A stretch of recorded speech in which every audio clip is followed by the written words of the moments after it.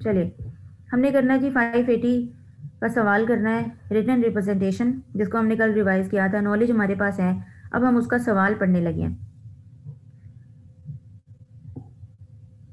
हारिस सवाल पढ़िए।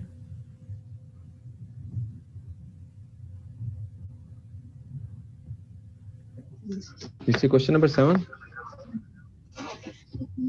आप यहीं से पढ़िए।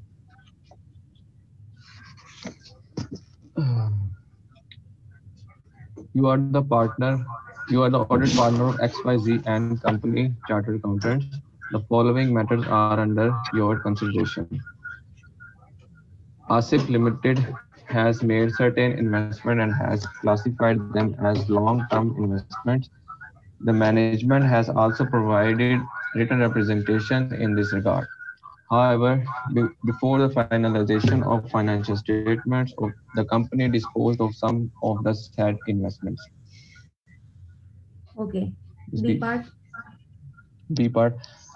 Mansoor Limited has entered into significant related party transactions during the year, which are approved by the board of directors and appropriately disclosed.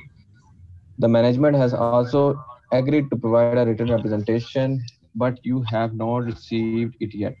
Required, analyze above situation and explain how you how you would proceed in the above matters.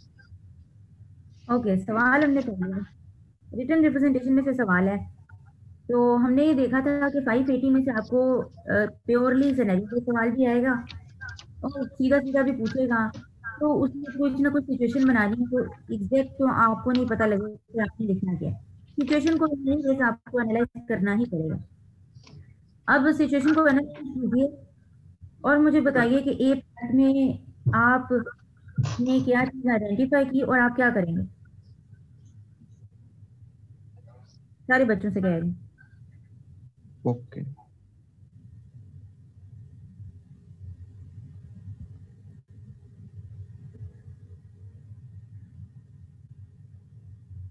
Message मत कीजिए, जिसने पूछना है, बताना है, मुझे mic unmute करके बता दें।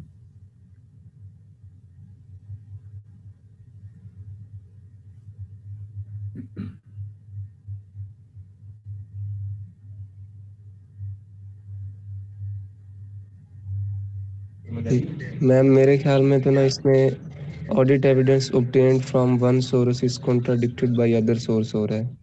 तो वो तीन प्रोसीजर लगाने पड़ेंगे पहले ए ए पार्ट कर रहा है माजिद मैम मतलब मैनेजमेंट बता रही है कि ये लॉन्ग टर्म इन्वेस्टमेंट है और साथ ही उन्होंने इनको डिस्पोज ऑफ़ भी कर दिया है। ठीक है। सही पॉइंट आइडेंटिफाई किया मैनेजमेंट ने कहा जी ये लॉन्ग टर्म इन्वेस्टमेंट है और लॉन्ग टर्म इन्वेस्टमेंट है तो वो तो एक साल से पहले तो आप डिस्पोज ऑफ़ नहीं करने वाले। लेकिन साथ ही आपने भी ऑडिट अभी हमारा फाइनल भी नहीं हुआ। उससे पहले हमें बदल गया आपने इन्वेस्टमेंट को डिस्पोज ऑफ़ भी कर दिया।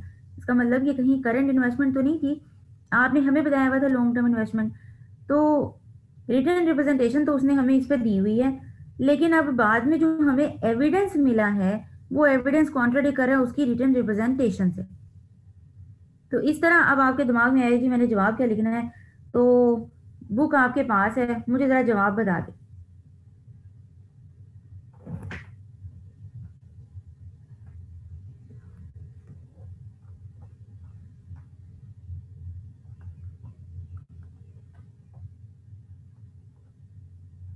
वो मैम ये risk assessment of the area still appropriate वो वाला बताना है ना?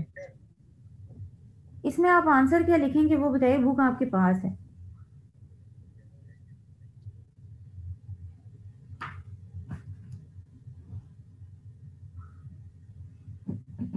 मैम सबसे पहले रिस्क असेस करेंगे। अगर कोई एडिशनल ऑडिट प्रोसीजर नीड हुए तो वो लगाएँगे और मैनेजमेंट के कंसर्न अगर ठीक है माजी ठीक है कोई और बच्चा जवाब दे।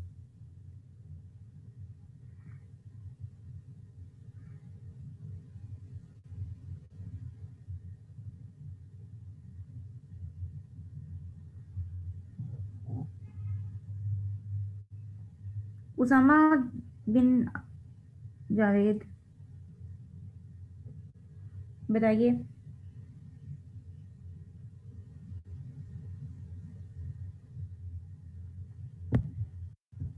सिचुएशन हाँ जी उसामा बताइए।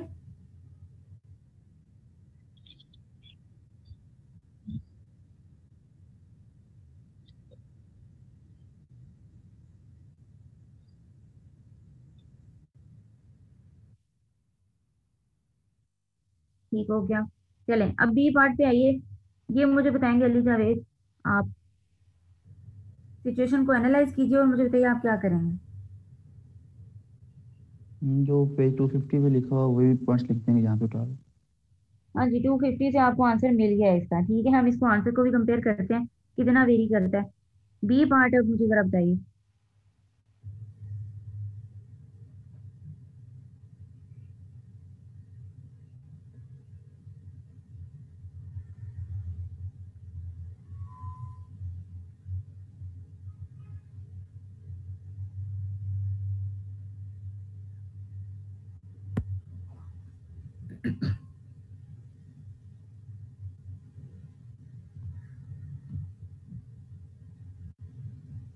हाँ जी अली जावेद। एक रिलेटेड पार्टी ट्रांजेक्शन हुई है।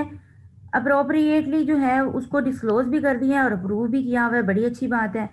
मैनेजमेंट देंगे क्या जी? जो टोटल पेज के ऊपर है बुक के रिटर्न रिप्रेजेंटेशन समझ नहीं आई क्या कह रहे हैं आप? मैम टोटल पेज नंबर उसके ऊपर जो रिटर्न रिप्रेजेंटेशन है। टू ट्वेल्व बता दीजिए क्या है वहाँ पे The completeness of information that has been provided of the identity of related parties and related party relationship and transactions and the advocacy of accounting for sir अब बाद में हम कर लेते हैं डिस्कस लेकिन अभी सिचुएशन बताइए हुआ क्या है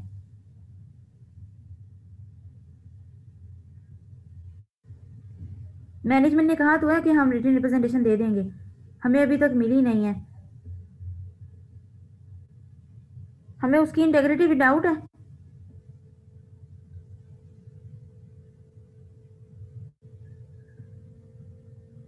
सवाल पढ़ के ये तो नहीं लग रहा कि उसकी इंटेग्रिटी पे डाउट है, उसने डिस्क्लोज भी कर दिए इसे अप्रोप्रिएटली लेकिन हमारे लिए रिटर्न रिप्रेजेंटेशन हम स्टिल बताएँगे कि ये बहुत इंपॉर्टेंट है। हमें अभी तक मिली नहीं। हम इम्प्लीकेशन बताने की कोशिश करेंगे, देखें। अगर हमें ना मिली तो हम ऑडिट रिपोर्ट साइन नहीं करेंगे। तो हम अब इसके आंसर पे आ जाते हैं। हमने सिचुएशन को देख लिया चार नंबर का सवाल है। तो कम से कम एक में उसने सिचुएशन को एनालाइज करने का आपको नंबर दिया और तीन नंबर जो है उसको तीन पॉइंट्स के दे दिए। और ती, नीचे तीन नंबर का सवाल है तो वो आपके उसी तरह पॉइंट्स कवर हो जाएँगे। देखेंगे हम मार्क्स के हिसाब से उसने किस तरह जस्टिफाई किया हुआ है।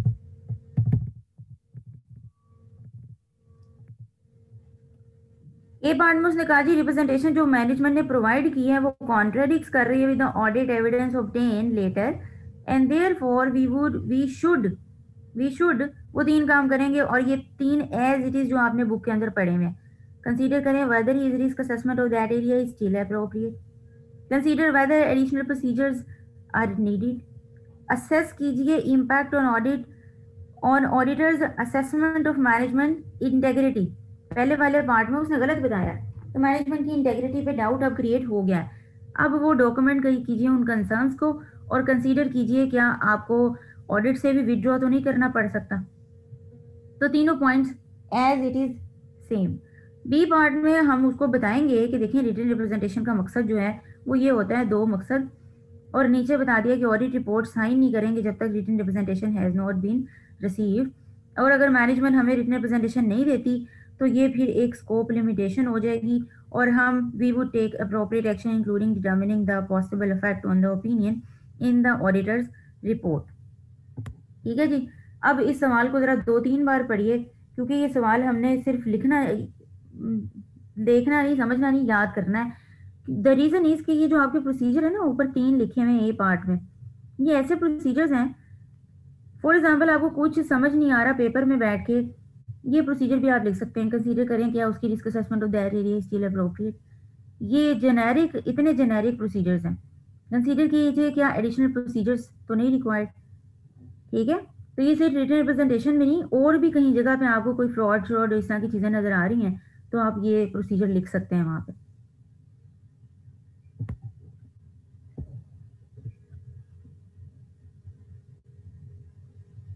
चलिए जी, इसको बार बार पढ़ लीजिए ज़रा।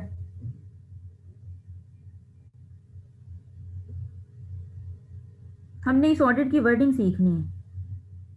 ठीक है? अब जैसे ए के अंदर risk assessment additional procedures are still appropriate auditor's assessment consider withdrawing from the audit तो ये डॉक्यूमेंट दोज कंसर्न याद कर लीजिए एज इट इज़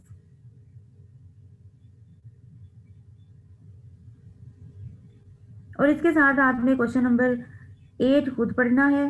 और वो भी करके आना है। होमवर्क आपको मैं बता देती हूँ।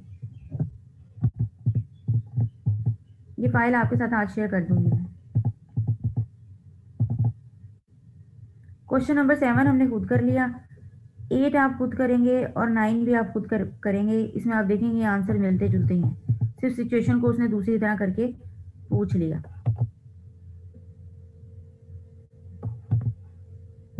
नोट कर लीजिए जी question number seven eight nine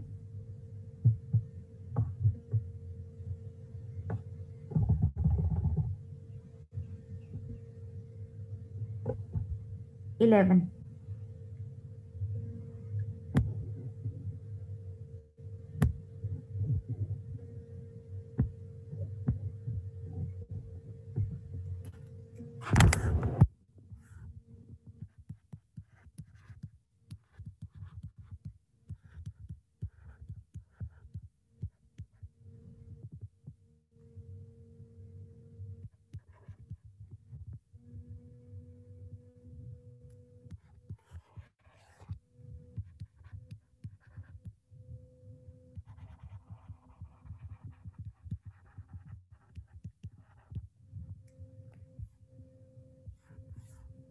चलिए हम आ जाते हैं अब आई एस एस सात सौ हमने रिवाइज करना है।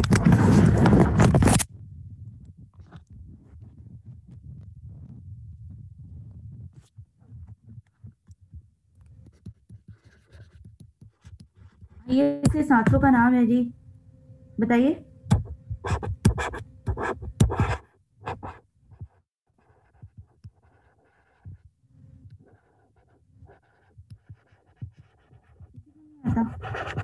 forming an opinion and reporting on financial statement.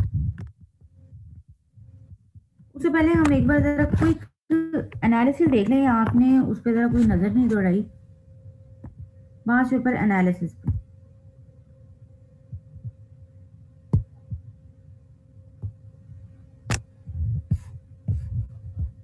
अभी तक हम कंपनीज़ एक्ट कवर कर चुके हैं। अदर एरिया चैप्टर वन का कवर कर चुके हैं।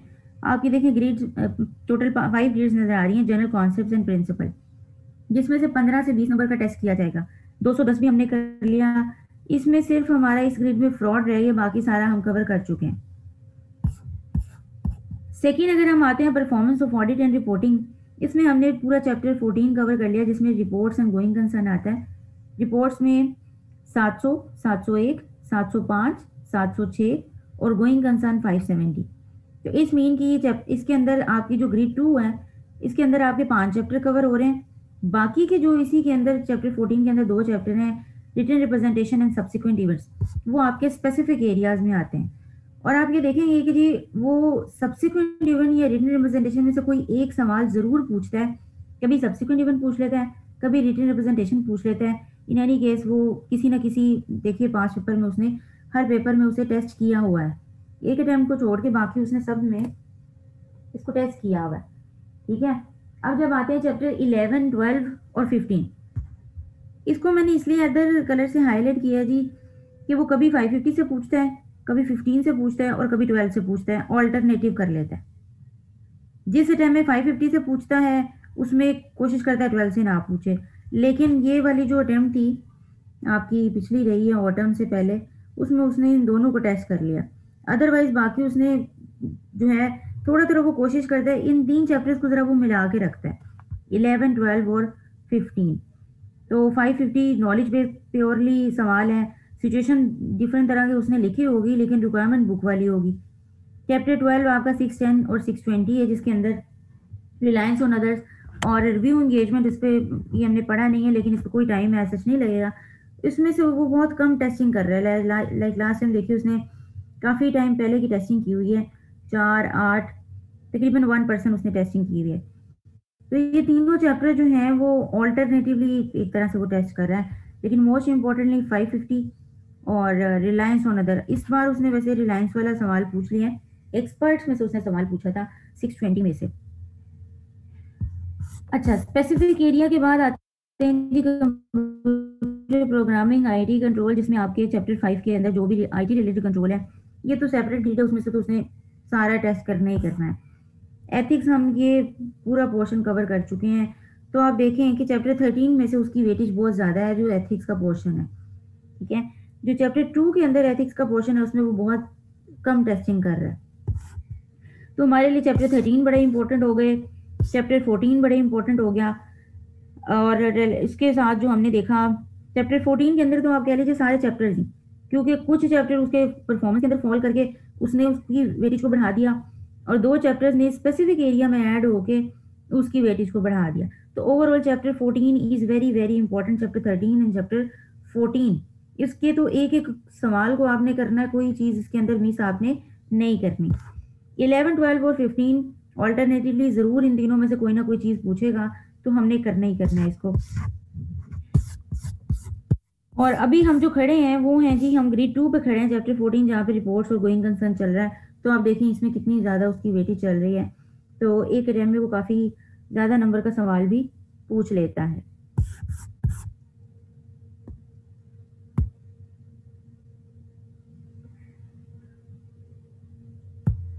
चैप्टर थर्टीन अभी नहीं, लेकिन मैं रिपोर्ट जो है, चूँकि बहुत मोस्ट इंपॉर्टेंट है, इसके लिए मैंने आपसे कहा भी हुआ था। तो मैं चैप्टर थर्टीन अभी नहीं रिवाइज कराऊँगी क्लास के अलावा कोई टाइम रखूँगी, ठीक है? अच्छा सात सौ आपका है जी forming an opinion and reporting on financial सात एक communicating key audit matters in an audit report key audit matters in an audit report. तो पाँच बताइए जल्दी से? Modification to audit opinion. छः other modifications.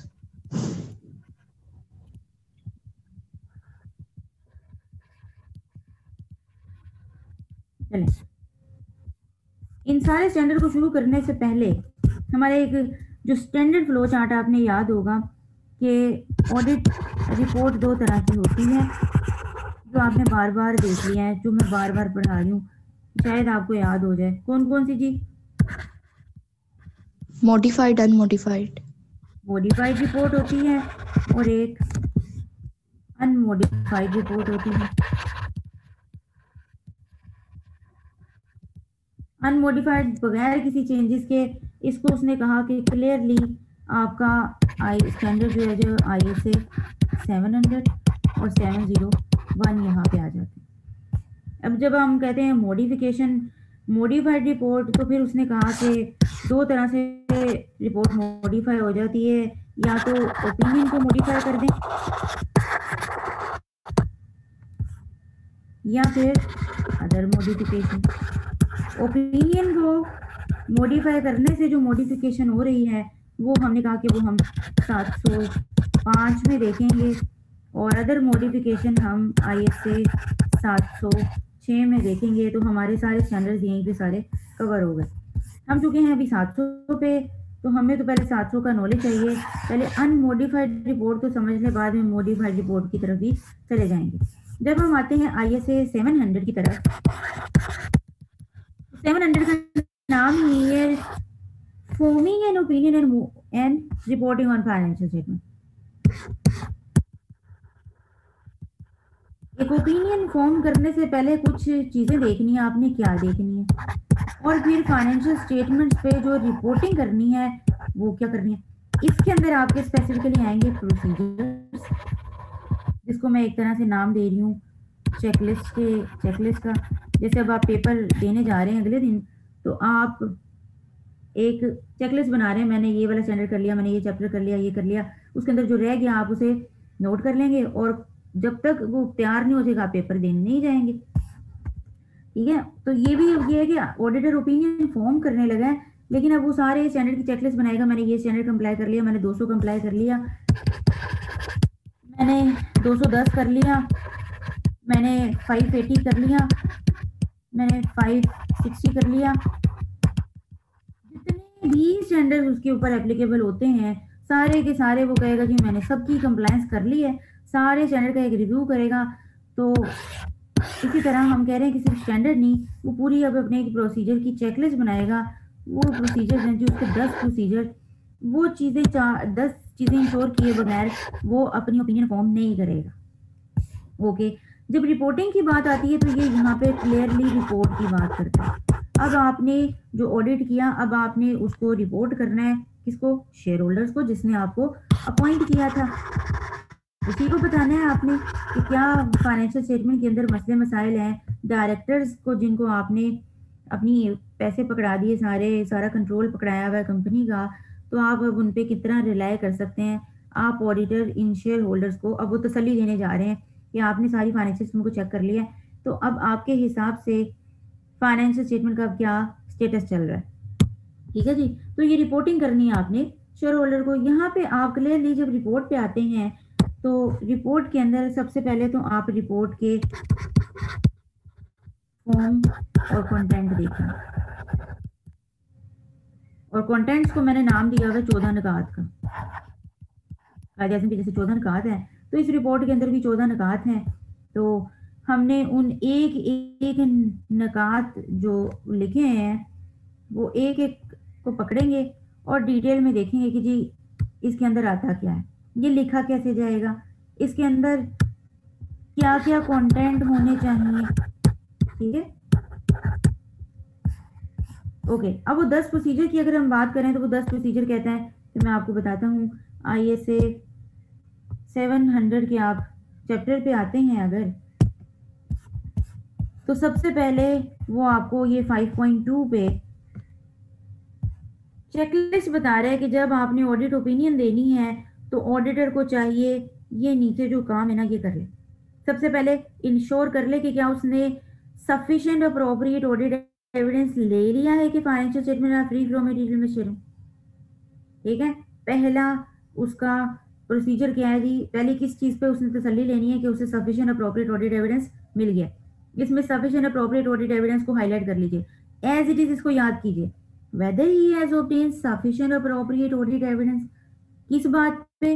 Whether the financial statement are free from material statement अब चूँकि वो अनमोडिफाइड ओपिनियन देने जा रहा है, किसी तरह की कोई मोडिफाइड ओपिनियन नहीं है तो साफ़ सुथरी रिपोर्ट है, ठीक है? कोई मसले मसाइल नहीं है तो फिर इंश्योर कर ले कि क्या उसको भी एविडेंस मिल गया? उसकी फाइलों के अंदर एक एक चीज़ का एविडेंस मौजूद है? कि financial statement are free from material statement okay ensure कर लिया। अब आ जाइए कहता है, क्या अनकोरेक्टेड जितनी भी स्टेटमेंट थी, वो कहीं मटेरियल तो नहीं है? इंडिविजुअली या फिर एग्रीगेट इंडिविजुअली तो कह के कह दिया, ठीक है मटीरियलिटी लेवल से बहुत थोड़ी है थोड़ी है, आप छोड़ देंगे। लेकिन पता चला इन द एंड वो तो पहाड़ बन गई है। मटीरियलिटी को भी एक्सीड कर गई है। तो ये भी आपने इंश्योर करना है, जब ऑडिट के एंड पे बैठा होगा तो जितनी भी मिसस्टेटमेंट है, वो मटीरियल नहीं होनी चाहिए। I S A four fifty की बेसिकली कंप्लेंस कर रहा है ये सफिशिएंट अप्रोप्रिएट ऑडिट एविडेंस ले लिया है ये 500 की बात कर रहा है The financial statement have been prepared in accordance with the requirements of the applicable financial reporting framework. इसको हम इसी तरह याद करेंगे The financial statements have been prepared in accordance with the requirement of the applicable financial reporting framework. अगर तो ये fair presentation framework है तो आप लिखेंगे कि financial statement give a true and fair view. आपने सा, उसने साथ ब्रैकेट में लिख भी दिया। अगर आपको याद हो तो ये सफिशिएंट अप्रोप्रिएट ऑडिट एविडेंस लेना है financial statement prepared in according with the requirement of applicable financial reporting framework ये आपने आईएएस से 200 के अंदर ऑब्जेक्टिव भी तो देखे थे ऑडिटर के। ठीक है? याद आ रहा है कुछ? आईएएस से 200 के अंदर उसके कुछ ऑब्जेक्टिव देखे थे चैप्टर वन के अंदर। तो वो वही ऑब्जेक्टिव अब वो इंश्योर कर रहा है कि उसने अपने उन ऑब्जेक्टिव को मीट कर लिए। और इन पर्टिकुलर थोड़ा डिटेल में अगर आए हम तो फाइनेंशियल स्टेटमेंट वो कह रहा है कि financial statements adequately refer to और describe the applicable financial reporting framework clearly financial statement के अंदर लिखा हुआ है कि कौन सा company entity applicable financial reporting framework use कर रही है। नोट्स के अंदर जाएँगे, जब शुरू में balance sheet income statement statement changes in equity सारा कुछ देख लिया, उसके पीछे आगे जाते हैं, ढेरों नोट्स नोट्स से मिलकर फाइनेंशियल स्टेटमेंट बनती है, उसके बगैर तो फाइनेंशियल स्टेटमेंट कंप्लीट ही नहीं होती। कहा उन नोट्स के अंदर आप क्लियरली रेफर करेंगे। Financial statement adequately disclose entity significant accounting policies हैं। इसमें अकाउंटिंग पॉलिसी का वर्ड हाईलाइट कर लीजिए। सिग्निफिकेंट अकाउंटिंग पॉलिसीज़ फिर अब जो वो अप्रोप्रिएट भी हैं कंसिस्टेंट भी हैं with applicable financial reporting framework accounting estimates are reasonable information in the financial statement is relevant reliable और कंपैरेबल और अंडरस्टैंडेबल है। जो इन्फॉर्मेशन आपने फाइनेंशियल स्टेटमेंट के अंदर उसने डाली हुई है वो रेलिवेंट है भी नहीं, वही रेलिवेंट चीज़ें डाली हैं। कंपैरेबल है कि नहीं है? कि पिछले साल से भी कंपेयर किया जा सकता है तो इस साल होने वाली आपने जो इस साल चीज़ें बनाई, और जो आपने मेथड अडॉप्ट की पिछले साल भी वही किए। और अगर इस बार मेथड चेंज किया है तो आपने फिर उसका आई ई एस एट के हिसाब से जो कि चेंजेस इन अकाउंटिंग एस्टिमेट और अकाउंटिंग पॉलिसी का, उसका भी इफ़ेक्ट ले लिया फिर। रीस्टेट किया है अगर जहाँ उसने कहा है पिछली फिगर को। तो ये सारे आपने इंश्योर कर लिया कि आई के हिसाब से फाइनेंशियल स्टेटमेंट बनी हुई है। फाइनेंशियल स्टेटमेंट में एडिक्वेट डिस्क्लोजर है और टर्मिनोलॉजीज जो फाइनेंशियल स्टेटमेंट के अंदर जो यूज़ की गई है वो कोई इतनी मुश्किल नहीं है कि शेयर होल्डर्स को समझ ही ना आए। तो आप ये देख लीजिए सात और तीन दस प्रोसीजर हैं एक तरह से चेकलिस्ट है। आपसे सीधा सीधा सवाल पूछा जा सकता है सिचुएशन बना के भी कि वो ऑडिट बैठा हुआ है वो किस तरह इंश्योर करे कि मैं ओपिनियन फॉर्म करने के काबिल हो गया हूँ। तो ये दस प्रोसीजर याद कर लेते अब आ जाइए कि हमने रिपोर्टिंग करनी है तो आप जी। पहले ये जो एक मिनट। दो प्रोसीजर हैं आप जिसका माइक अनम्यूट हुआ अगर वो काइंडली म्यूट करें। ओए।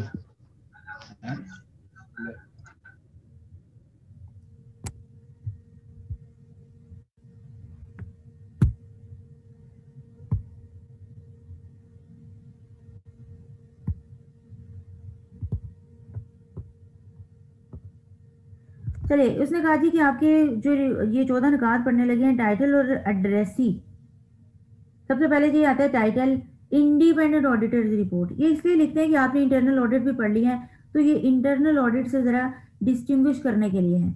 एक इंटरनल ऑडिट भी होता है तो हमारी रिपोर्ट में जब इंडिपेंडेंट लिखा होगा तो इसका क्लियरली मतलब होगा कि हम इंटरनल ऑडिटर नहीं है, हम एक्सटर्नल ऑडिटर एड्रेसी हम किसको रिपोर्ट करने जा रहे हैं जी?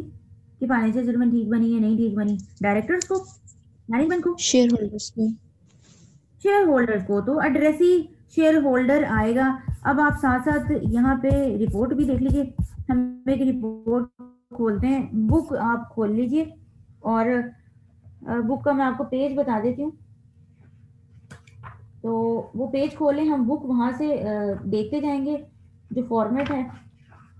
और साथ इधर निकात को डिस्कस करते जाएँगे। आपकी पहली रिपोर्ट टू पेज 261 पे आप वो रिपोर्ट खोल लीजिए और साथ साथ हम इसके जो ये 14 पॉइंट्स हैं, इसको कवर करते जाएँगे। टाइटल आ गया हमारा, सबसे पहले पेज हमने फोर टू सिक्सटी वन खोल लिया हुआ है। उसके अंदर हमें क्लियरली नज़र आ रहा है independent auditor report title addressee नज़र आया जी report on the audit of financial statement लिखने के बाद उससे ऊपर लिखा हुआ जी to the shareholders of ABC company okay. उसके बाद आ जाते हैं आपके, ये दो आपके हैं जी।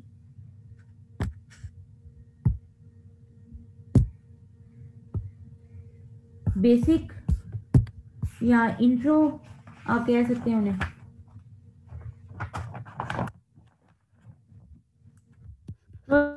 के अंदर एक आपका है जी टाइटल और इसको आप कहते हैं जी, ये बेसिक पॉइंट्स हैं। शुरू में आपने बताया।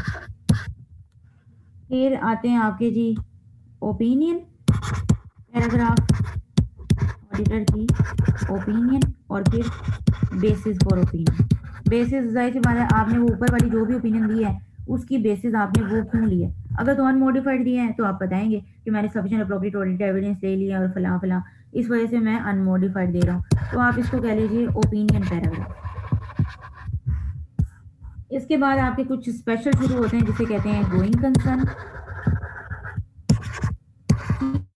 audit matters that is KAM और एक होता है अदर इंफॉर्मेशन अगर आप अदर इंफॉर्मेशन को ऑडिट नहीं कर रहे तो आप फिर बता देते हैं कि मैं इसका ऑडिट नहीं कर रहा। इसको हम कहते हैं जी स्पेशल एरिया स्पेशल एरियाज़ के बाद आपकी रिस्पॉन्सिबिलिटी एरिया शुरू हो जाते हैं responsibility of responsibility for financial statement फिर ऑडिटर की रिस्पॉन्सिबिलिटी अब ये रिस्पॉन्सिबिलिटी फॉर फाइनेंशियल सर्विस उसने लिखा नहीं है, लेकिन ये ऑब्वियसली मैनेजमेंट की रिस्पॉन्सिबिलिटी की बात हो रही है। उसके बाद है कि ऑडिटर की रिस्पॉन्सिबिलिटी इसको कह दिया जी रिस्पॉन्सिबिलिटी और इसी के अंदर अगर ऑडिटर ने किसी और चीज़ पे भी रिपोर्ट करना है फाइनेंशियल स्टेटमेंट के अलावा तो हम कहते हैं अदर रिपोर्टिंग रिस्पॉन्सिबिलिटी रिस्पॉन्सिबिलिटी के बाद अब आपके एंड पे शुरू हो जाते हैं जी एंडिंग एरियाज़ एंडिंग एरियाज़ के अंदर आता है name of engagement partner auditor के फिर सिग्नेचर ऑडिटर का एड्रेस और डेट ऑफ़ रिपोर्ट ये चार आपके हैं जी एंडिंग एरियाज़ अब इनके अंदर क्या क्या चीज़ें इंक्लूड होती हैं ये आपने बुक से देख के पढ़ लेना है। लेकिन अभी के लिए मैं आपको रिपोर्ट का आपने चूँकि फॉर्मेट खोला है उसको हम एक बार गो थ्रू कर लेते हैं। सात सौ के अंदर कुछ भी नहीं है सिर्फ़ आपने रिपोर्ट सीखनी है बनानी कैसे है और रिपोर्ट को ड्राफ्ट कैसे करना है। आपको इवन पिछले आ, हमने डिस्कस किया था क्लास में जब पिछले पेपर आते थे 2014 से पहले कि आप लगा लें। उसमें आपसे पूरे पूरे पैराग्राफ ड्राफ्ट करवाए हैं उसने। पूरी पूरी रिपोर्ट रिस्पॉन्सिबिलिटी पैराग्राफ लिख दीजिए बेसिस फॉर ओपिनियन पैराग्राफ लिख दीजिए ओपिनियन पैराग्राफ ड्राफ्ट कर दीजिए। उसके बाद उसके सवाल इस तरह के हो गए जो उसने पैराग्राफ देना शुरू कर दिया और बताना शुरू कर दिया, कहना शुरू कर दिया कि जी रिक्वायरमेंट में कि गलतियाँ बताइए। अब लॉजिकली सोचें तो गलतियाँ निकालने के लिए पहले समझना पड़ेगा कि इसके अंदर आता क्या क्या अगेन आपको रिपोर्ट को याद करना पड़ेगा। मैं फिर से आपको कह रही हूँ, आपने आई एस सात सौ की रिपोर्ट को याद करना है। मेमोराइजेशन याद करना है, ठीक है? ओपिनियन के अंदर अगर हम पढ़ें तो उसने कहा, जी, हमने ऑडिट किया फाइनेंशियल स्टेटमेंट कंपनी का और सारा। बताने के बाद सबसे पहले कि हमने किस कंपनी का ऑडिट किया? हमने उसकी फाइनेंशियल स्टेटमेंट का ऑडिट किया है। ये सारा उसका ईयर एंड पीरियड बताने के बाद फिर हमने बकायदा अपनी ओपिनियन सेक्शन शुरू कर दिया। लिखा in our opinion the financial statement present fairly in all material respects अगर तो ये फेयर प्रेजेंटेशन फ्रेमवर्क है। और अगर ये कंप्लायंस फ्रेमवर्क है तो financial statement are prepared in all material respect in accordance with the applicable financial reporting framework ठीक है? और अगर फेयर प्रेजेंटेशन है तो in our opinion financial statement present fairly in all material respects और true give a true and fair view दो आगे उसने लिख दिया in according with the international financial reporting standards for example आपने एस लगाया हुआ है तो वो लिख दिया। बेसिस फॉर ओपिनियन के अंदर जब आप आते हैं बुक खोलिए आप। बुक से अब हम पढ़ते हैं। मैं यहाँ से भी आपके साथ शेयर कर लेती हूँ।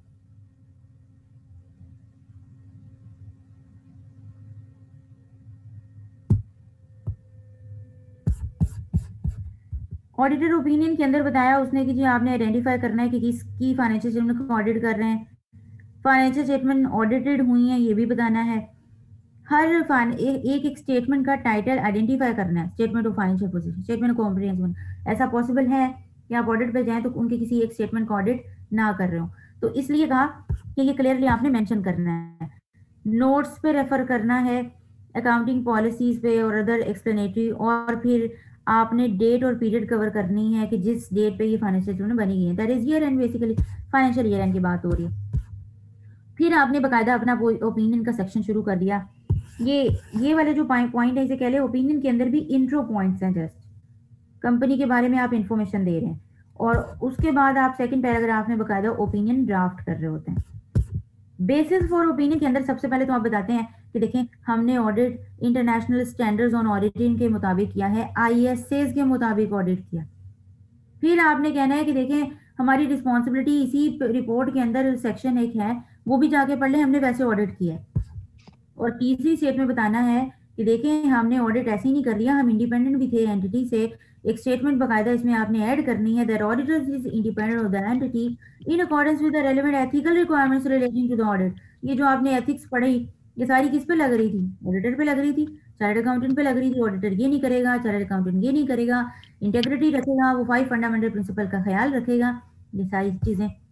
और एंड पे लिखेगा कि देखें ऑडिटर बिलीव्स कि the audit evidence the auditor has obtained is sufficient and appropriate to provide a basis for the auditor's opinion. ये बहुत हैवी पॉइंट है कि भाई हमें अपनी ओपिनियन फॉर्म करने के लिए सफिशियंट अप्रोप्रिएट ऑडिट एविडेंस मिल गया है। फिर आगे आते हैं जी special areas special areas going concern that is 570 आपको याद होगा कि अगर मटेरियल अनसर्टेनिटी तो एग्जिस्ट करती है, लेकिन हम कहते हैं कि अगर जो है उसका पूरे होल फाइनेंशियल ज़मीन पर परवेसिव इफ़ेक्ट नहीं है तो हम मैनेजमेंट को कहते हैं कि जी ये मटेरियल अनसर्टेनिटी एग्जिस्ट कर रही है, जैसे कोई लिटिगेशन आ गई, कोई मेजर डिजास्टर हो गया। अब फाइनेंशियल स्टेटमेंट डिस्क्लोजर दे दें। हम उसके डिस्क्लोजर को रेफर कर देंगे that is with the name of going concern इसको एक तरह से कहते हैं इसकी नेचर गोइंग कंसर्न की एम्फोसिस मैटर पैराग्राफ की बन जाती है। इस तरह से जी कि एम्फोसिस मैटर पैराग्राफ भी related to the financial statement होता है understanding of the financial statement उसका भी हमने डिस्क्लोजर दिया होता है और उस डिस्क्लोजर पे खास अटेंशन विड्रॉ कर रहे होते हैं हम यूज़र्स की। तो गोइंग कंसर्न तभी आएगा जब मटीरियल अनसर्टेनिटी एग्जिस्ट करेगी अदरवाइज़ गोइंग कंसर्न पैराग्राफ नहीं आएगा। लेकिन की ऑडिट मैटर्स पैराग्राफ अगर आप एक लिस्टेड कंपनी है वो रिक्वायरमेंट है, वो हम 701 के अंदर फर्दर डिटेल में देखेंगे कि ये कैम कब आएगा। एनीवे अदर इन्फॉर्मेशन 720 आपके सिलेबस का पार्ट नहीं है, लेकिन उसने आपको अगेन आपको बस बता दिया कि यहाँ पे अदर इन्फॉर्मेशन का पैराग्राफ भी एक आता है। फिर आपकी रिस्पॉन्सिबिलिटी फॉर फाइनेंशियल स्टेटमेंट और यहाँ पे आपको याद आ जानी चाहिए जो मैनेजमेंट की responsibility for preparation of financial statement for such internal controls and फिर एंटिटी की एबिलिटी को चेक करना कि वो एज अ गोइंग कंसर्न है कि नहीं है, ये भी कंपनी की पहले मैनेजमेंट की ज़िम्मेदारी होती है। फिर ऑडिटर की रिस्पॉन्सिबिलिटी सबसे बड़ा सेक्शन सबसे बड़ा सेक्शन ये मिडल में आता है और ऑडिटर साहब की रिस्पॉन्सिबिलिटी को इतना ज़्यादा बढ़ा दिया। ये इसलिए बताया गया कि हम शेयर होल्डर को बता दें कि हमारी ये रिस्पॉन्सिबिलिटी है, हमने इस हिसाब से ऑडिट किया है। अगर कहीं वो हमारी रिस्पॉन्सिबिलिटी को मिसअंडरस्टैंड कर रहे हैं मिसकनसेप्शन तो नहीं क्रिएट हुई भी वो समझते हैं कि हम यहाँ पे इन्वेस्टिगेशन uh, करने आए हैं हम तो फ्रॉड पकड़ने आए हैं हम तो ओवरऑल फाइनेंशियल स्टेटमेंट पे ओपिनियन देने आए स्पेसिफिकली फ्रॉड ही पकड़ने नहीं आए ठीक है? तो ये एक लंबा चौड़ा सेक्शन है जो कि आपको याद करना है। इसकी वर्डिंग को याद कर लेना है आपने। और उसके बाद उसने बताया ये आपसे सवाल पूछा जा सकता है कि ऑडिटर रिस्पॉन्सिबिलिटी को आप कहाँ कहाँ पे इंक्लूड कर सकते हैं। तो कहा, आप within the body of the auditor report यानी कि ऑडिटर रिपोर्ट के मिड में आप इसको डाल सकते हैं। या फिर अगर आप इस, क्योंकि ऑडिटर की रिस्पॉन्सिबिलिटी वाला जो पैराग्राफ है, ये सेक्शन है, ये इतना लंबा है और हर बार तकरीबन हर कंपनी की रिपोर्ट में सेम ही होता है तो कहते हैं आप इसको एक्सक्लूड भी कर सकते हैं और सिंपल एक अपेंडिक्स अटैच कर दें। उस अपेंडिक्स में आप उस रिस्पॉन्सिबिलिटीज को डाल दें और जो लोकेशन है वो आप बता दें। मैनेजमेंट को मैं, मैं जो आप सॉरी अपनी रिपोर्ट के अंदर आप बता दें कि हमने फला फला अपेंडिक्स अटैच किया उस अपेंडिक्स के अंदर जाके हमारी रिस्पॉन्सिबिलिटीज पढ़ लें। ठीक है? तो ये दोनों उसने कहा है या फिर आप स्पेसिफिक रेफरेंस भी दे सकते हैं ऑडिट रिपोर्ट के अंदर the location of such description on a website of an appropriate authority लेकिन अगर आप अपनी रिपोर्ट के साथ भी उसे अटैच नहीं करना चाहते, आप बता देना चाहते हैं कि जी, वो हमने फला वेबसाइट पे हमारी रिस्पॉन्सिबिलिटी वाला सेक्शन पड़ा है तो आप जाके देखना चाहते हैं तो वहाँ से देख लें। आप अपनी रिपोर्ट के साथ भी अटैच नहीं करना चाहते तो ना दें सिंपल एक रेफरेंस दे दें। फिर अदर रिपोर्टिंग रिस्पॉन्सिबिलिटी इसमें जो चीज़ समझने वाली है वो ये है कि ये रिस्पॉन्सिबिलिटी जो है responsibility other than of financial statement ठीक है? अगर फॉर एग्जांपल ऑडिटर से एक और कंपनीज़ एक्ट के हिसाब से कह दिया जाए कंपनी एक्ट जो है लॉ है, वो कहते हैं कि जी ऑडिटर ने जाके जो कंपनी की अदर जो रेगुलेटरी रिक्वायरमेंट है, जैसे कि अगर कंपनी कोई ऐसा बिज़नेस करती है जिससे इन्वायरमेंट पोल्यूट होता है, ठीक है? अगर इन्वायरमेंट उससे पोल्यूटेड होता है तो फिर जाके वो ये भी इंश्योर करे कि मैनेजमेंट ने क्या ऐसे स्टेप्स लिए हुए हैं, क्या वो उन इकदाम पे अमल कर रही है जो रेलिवेंट जो रेगुलेटरी इन्वायरमेंट की रेगुलेशन हैं, उसको कोई कंप्लाई कर रही है कि नहीं? अब ये वाली जो चीज़ है ना, ये अदर रिपोर्टिंग रिस्पॉन्सिबिलिटी आ गई अब ऑडिटर को फाइनेंशियल स्टेटमेंट के अलावा भी एक चीज़ पर रिपोर्टिंग मतलब रिपोर्ट कर रहे हैं। तो फिर लॉ ने स्टैंडर्ड ने उसको कहा, आप अपनी रिपोर्ट के अंदर ही एक और सेक्शन ऐड कर लीजिए अदर रिपोर्टिंग रिस्पॉन्सिबिलिटी के नाम से, और वहाँ पे कर दीजिए। और ये चीज़ याद रखनी है कि other reporting responsibility always always जो आपकी फाइनेंशियल स्टेटमेंट के अलावा कोई रिस्पॉन्सिबिलिटी है, वो है। अगर तो फाइनेंशियल स्टेटमेंट के अंदर कवर हो रही है तो उस पर आपको वो अदर रिपोर्टिंग का पार्ट नहीं बनेगी। ठीक है? ओके फिर उसने कहा जी एंडिंग एरिया शुरू हो जाते हैं, आपके एंगेजमेंट पार्टनर का नेम आएगा। ये ज़रूरी नहीं है, उसने कहा जी सम टाइम्स लिस्टेड कंपनी का जब आप ऑडिट करते हैं तो रेयर सरकम चांसेस पे इंगेजमेंट पार्टनर अपना नेम नहीं लिखता। वो कहता है कि मुझे कोई पर्सनल सिक्योरिटी थ्रेट है। तो वो फिर अपना नाम जो है वो एक्सक्लूड कर सकता है और डिस्कस भी कर सकता है दो चार्ज विद गवर्नेंस के साथ। ठीक है? उसको कोई थ्रेट्स इशू ना आ जाए, क्योंकि लिस्टेड कंपनी एक बहुत बड़ी कंपनी होती है तो सारे शेयर होल्डर्स और काफ़ी रेगुलेशंस उस पर होती हैं तो इंगेजमेंट पार्टनर थोड़ा सा डर रहा होता है। अगर मैंने अपना साइन कर दिया, जिस तरह फॉर एग्जांपल कोई जज है, कोई फैसला सुना दे तो मूवीज़ में आपने देखा होगा कि उस जज को अपना थ्रेट पड़ जाता है। कि कहीं मैंने जिनके खिलाफ गलत फैसला सुनाया, वो हायर पोजीशन पे होंगे तो ज़रूर मेरी जान अब खतरे में है। तो इसी तरह ऑडिटर को भी कुछ पर्सनल सिक्योरिटी थ्रेट्स आ जाते हैं। तो एंगेजमेंट पार्टनर अपना नेम लिखने से ज़रा रिलेक्टेंट हो जाता है। ऑडिटर अपना सिग्नेचर करेगा, या तो अपनी फर्म के नेम से भी कर सकता है, अपने नेम से भी कर सकता है, या दोनों से कर सकता है। एड्रेस में वो उसने कहा, जी एड्रेस में आप सिंपल सिटी लिखेंगे, आप एड्रेस पूरा नहीं लिखेंगे कि जी फला फला ये पूरी जगह लिखने की ज़रूरत नहीं है। अगर फॉर एग्ज़ाम्पल ई वाई है ई वाई लाहौर आपको ऑडिट कर रही है तो ई वाई लाहौर लिखा जाएगा। अगर इस्लामाबाद, कराची तो आप कराची लिखेंगे, ठीक है? तो आपको प्रॉपर लोकेशन नहीं लिखने की ज़रूरत, कहाँ पे? जस्ट सिटी मेंशन किया जाएगा। ऑडिटर की रिपोर्ट जो है, उसकी डेट वो होनी चाहिए जब आपने sufficient appropriate audit evidence obtain कर लिया। इसके अंदर इंपॉर्टेंट बात है कि जो रिपोर्ट की डेट है ये वो डेट होनी चाहिए एज नियरली एज प्रैक्टिकेबल कि जिस दिन मैनेजमेंट ने खुद भी फाइनेंशियल स्टेटमेंट को अप्रूव कर दिया। ठीक है? आप कोशिश करें कि उसके बाद की डेट ना लेके जाए। जब फाइनेंशियल स्टेटमेंट को डायरेक्टर्स ने साइन किया खुद, आप कोशिश करें उसके बाद की या उससे पहले की भी डेट ना लेके जाएँ। तो this will not be earlier than the date on which the financial statement are sign और अप्रूव तो इसका ये मतलब है कि पहले हमने मैनेजमेंट से उनसे कहना है कि पहले आप साइन करें। पहले आप तो अपनी रिस्पॉन्सिबिलिटी लें, उसके बाद हम रिपोर्ट देंगे। याद आ रहा है आपको आई से फाइव सिक्सटी के अंदर चार डेट्स पड़ी थी? तो ये उसी की कहीं ना बीच में बात हो रही है। ओके ये रिपोर्ट है, फिर आपने उसके बाद याद कर लेनी है। सात को हमने काफ़ी डिटेल में देख लिया है। कल हम इसी तरह एक एक स्टैंडर्ड साथ रिवाइज कर लेंगे। कल कोशिश करेंगे कि 705 और 701 दोनों रिवाइज कर लें। ठीक है? और साथ मैंने आपको जो सवाल दिए हैं, वो आपने करने हैं। अभी तक आपका कोई सवाल है तो पूछ लीजिए।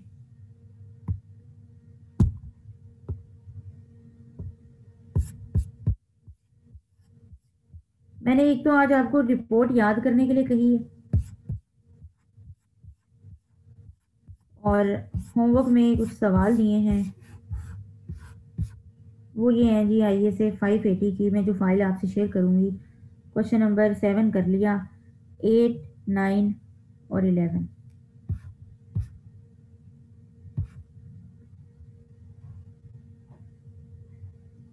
ओके जी, सवाल पूछ लीजिए।